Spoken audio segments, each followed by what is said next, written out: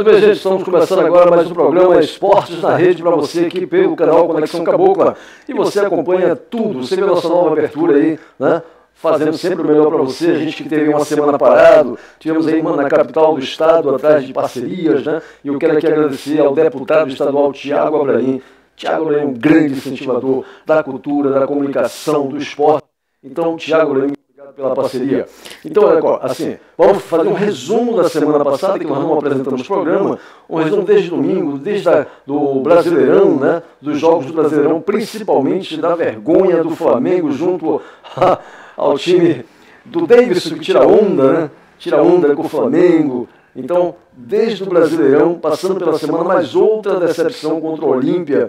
Gente, o Flamengo é a grande decepção da semana. Então, falar de Comebol Libertadores, falar de Sul-Americana, e a gente começa agora o programa Esporte na Rede. Aqui, vamos botar aqui nossa, como você faz para se inscrever no canal, né? Anuncie com a gente, aqui no canal, aqui embaixo, passando para você. Você vai no canal do, do, do portal Conexão Caboclo, lá no YouTube, se inscreve, ativa o sininho, dá essa moral para a gente, sobe aí nossa audiência, e aí pode também no YouTube, aliás, no Instagram e Facebook. Hoje tá, a inspiração tá boa, hein?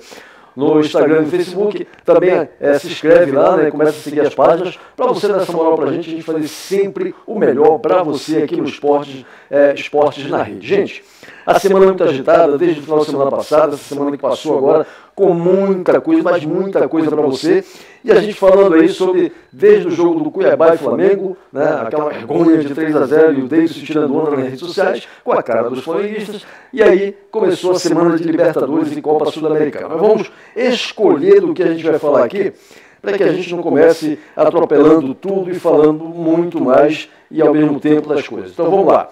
Copa Sul-Americana, resultado dos jogos. Gente, deixa eu me afastar aqui. Olha, tá aqui. Copa Sul-Americana, resultado dos jogos. Só lembrando que os resultados dos jogos estão passando aqui embaixo na tarja branca e vamos falar aqui dos jogos que aconteceram. A classificação do Coelho, né, do América Mineiro, aí surpreendendo o Bragantino, um jogaço com muitos gols, indo para os pênaltis e o, e o América Mineiro se classificando nos pênaltis, gente. Olha, foi um negócio assim, uma loucura. Então o América Mineiro conseguiu se classificar, um jogo 3 a 3 no jogo, no, no jogo normal, e foram para as penalidades, e o América Mineiro acabou passando, tá bom? E nós temos aqui também, nós temos o jogo do Corinthians, tá? Deixa eu ver com quem o Corinthians jogou. O Corinthians jogou com, só um pouquinho, Corinthians é, jogou contra o time, só um pouco, que agora embolou aqui, tá muito contra o News Old The Boys. News Old The Boys 0 a 0 e o Corinthians acabou se classificando por ter ganho o primeiro jogo. Então o Corinthians jogou no time lá na Argentina contra o News Old The Boys, acabou se classificando e empatando porque tinha ganho lá na Neoquímica Arena. Corinthians também classificado para as quartas finais, mesma coisa do América Mineiro.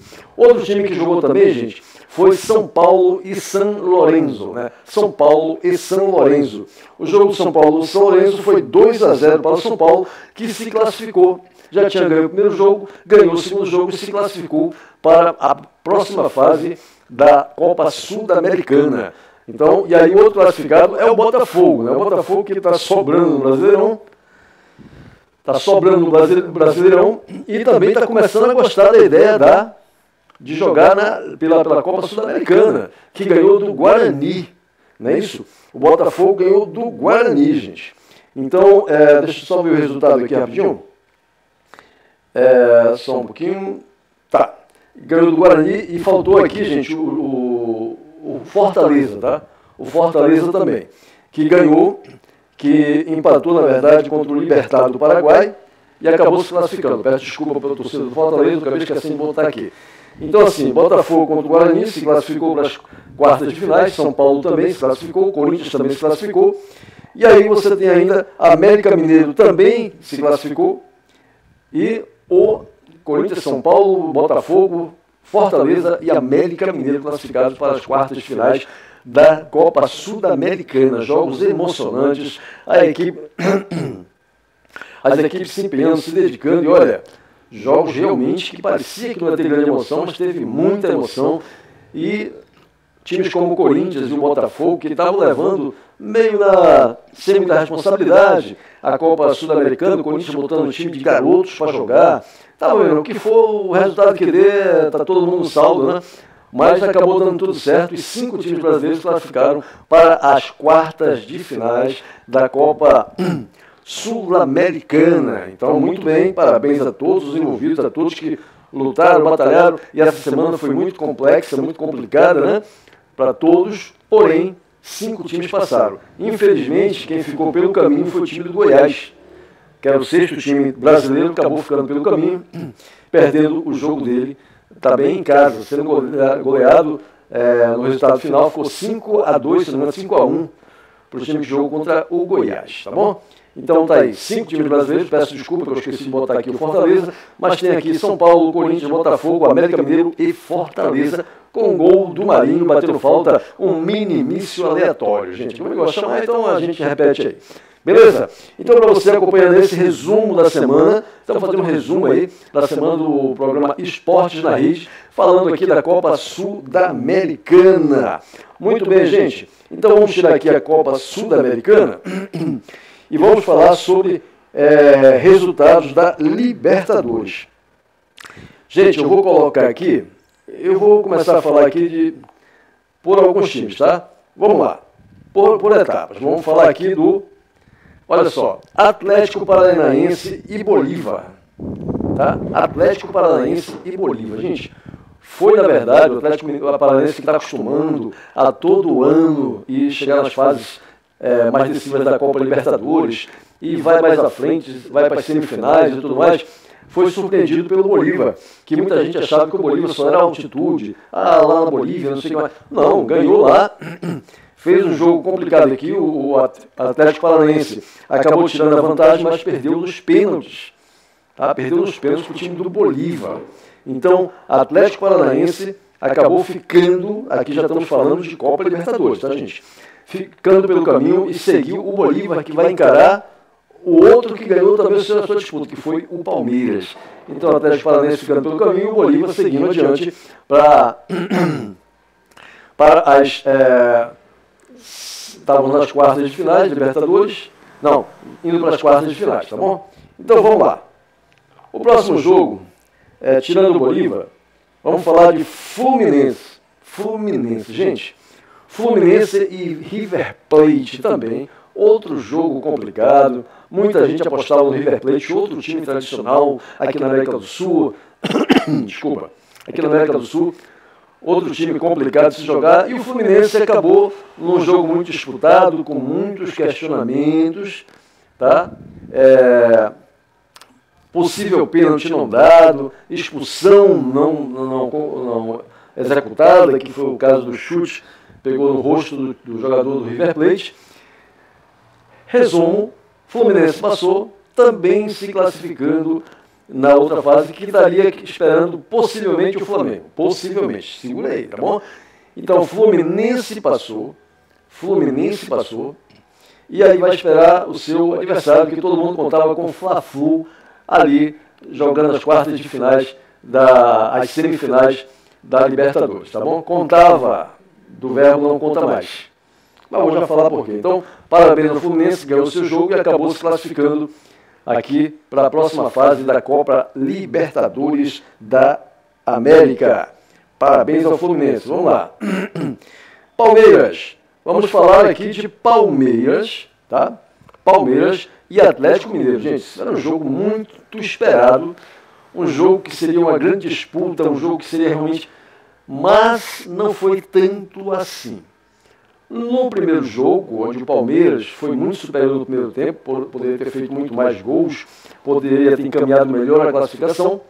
Então, no primeiro jogo, o Palmeiras acabou levando a vantagem contra, contra o time do Atlético Mineiro e levou o, resultado, levou, na verdade, a disputa da decisão para dentro do Allianz Parque. E aí acabou o Atlético Mineiro jogando bem, a disputa foi muito boa, mas acabou classificando o Palmeiras, porque deu empate lá no Allianz Parque.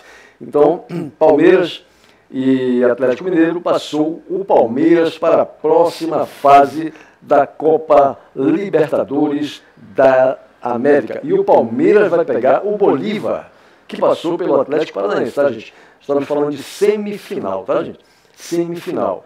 Então o Palmeiras vai pegar o Bolívar E o Fluminense estaria esperando o seu adversário, que seria, como todo mundo achava que seria, esse desafio aqui. Ó. Vamos lá. Olímpia e Flamengo. Todo mundo contando com o Fla-Flu na semifinal, sabe? Ia, ah, ia é, é, explodir o Maracanã, lotado e tudo mais, só esqueceram de combinar com o Olímpia.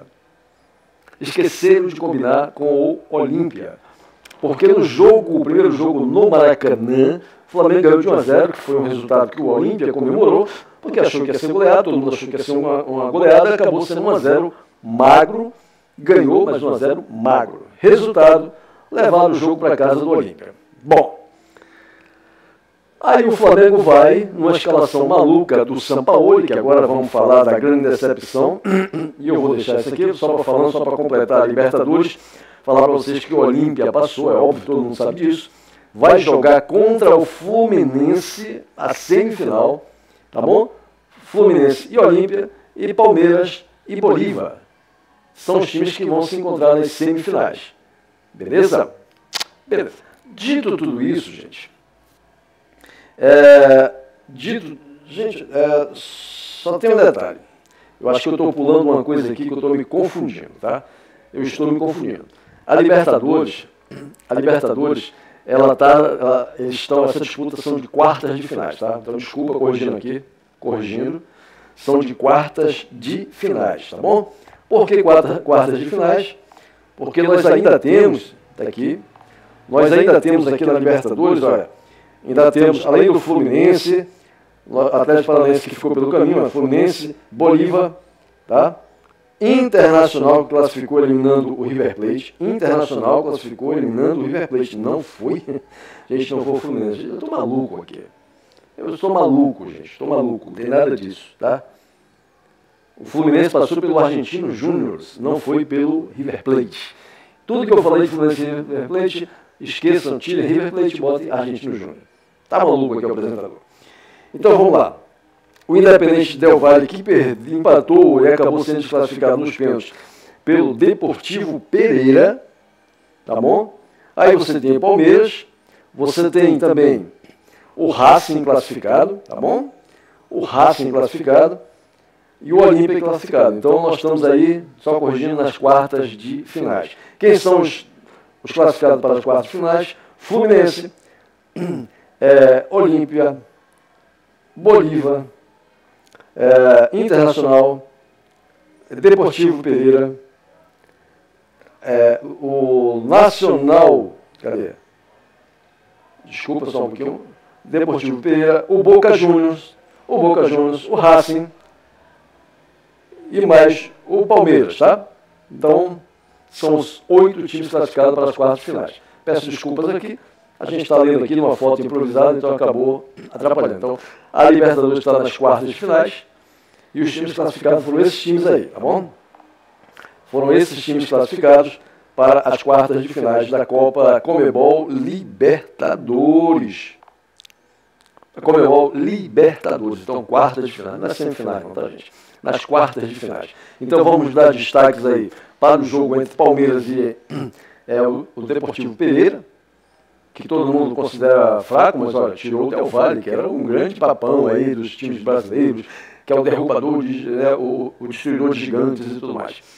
Então, times que passaram surpreendentemente, o Olímpia, todo mundo, todo mundo esperava que o Flamengo passasse, que não passou. E agora vamos falar aqui, gente. Peço desculpa de você, mas eu preciso falar aqui. Tá? Preciso falar aqui e colocar aqui os resultados. Deixa o resultado da Libertadores, porque eu preciso falar do Flamengo. Gente, presta atenção aqui.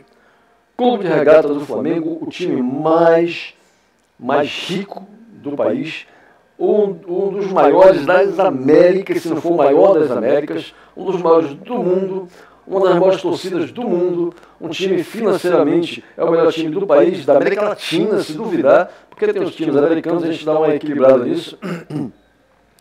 Um time com uma mega estrutura, um time com um poder de ação no mercado absurdo, onde, tudo isso que você está ouvindo falar, mas tudo isso, gente, este ano, que fique claro, porque se você pegar as últimas quatro Libertadores, tirando essa, o Flamengo chegou em três finais e ganhou duas. Então, né? é o atual campeão da Copa do Brasil, é o vice, é o segundo colocado no, no Campeonato Brasileiro.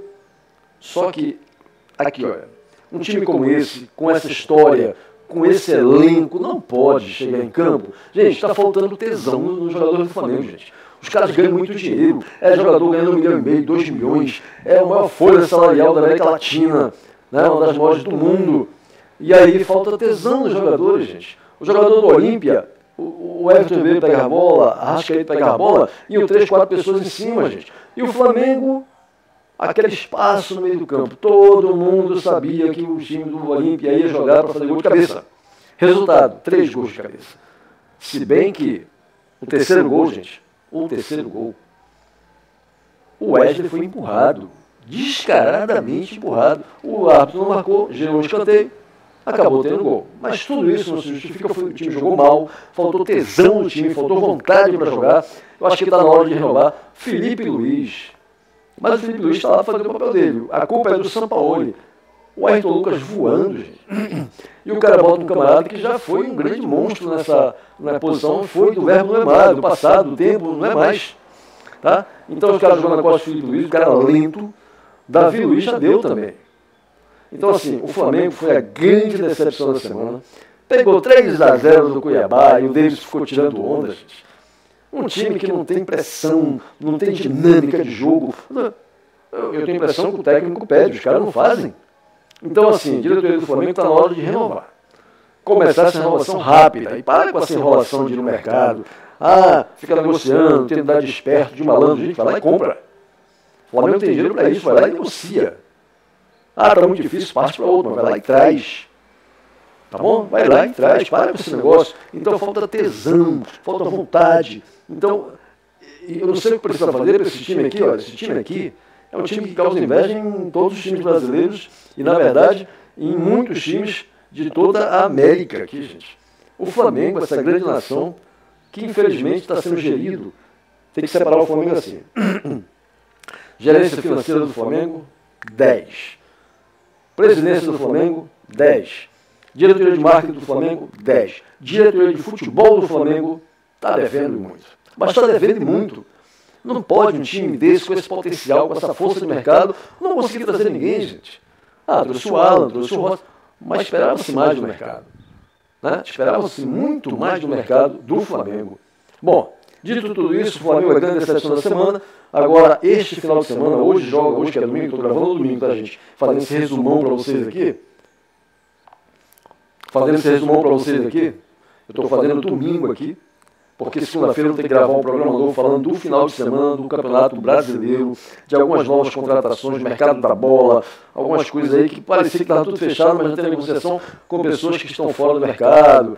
Ah, ah, vou explicar para vocês como é que está funcionando tudo isso, tá bom? Então amanhã tem outro programa, amanhã eu lanço o resumão dessa semana que passou e lanço também o programa de segunda-feira. Então, gente, é isso. Flamengo é a grande decepção, fora da Copa Libertadores da América, só sobra agora a Copa do Brasil, onde meteu 2 a 0 no Grêmio na casa do Grêmio, mas do jeito que está jogando, eu não duvido mais de nada. Tá?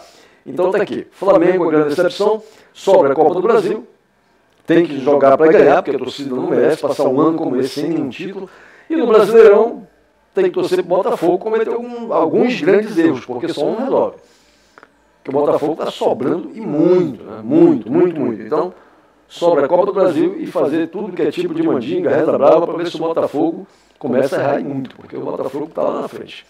Bom, gente, de tudo isso, deixa eu tirar aqui. Tá bom? Deixa eu tirar aqui o Flamengo, está grande decepção da semana. Grande decepção da semana.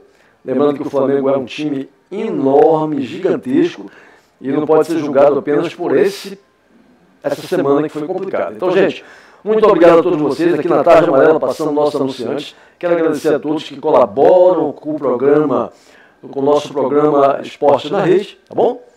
E a gente volta na semana que vem. Não, volta amanhã, segunda-feira. Gente, seu apresentador está maluco, está errando, mas vamos assim, assim que fica bom, né?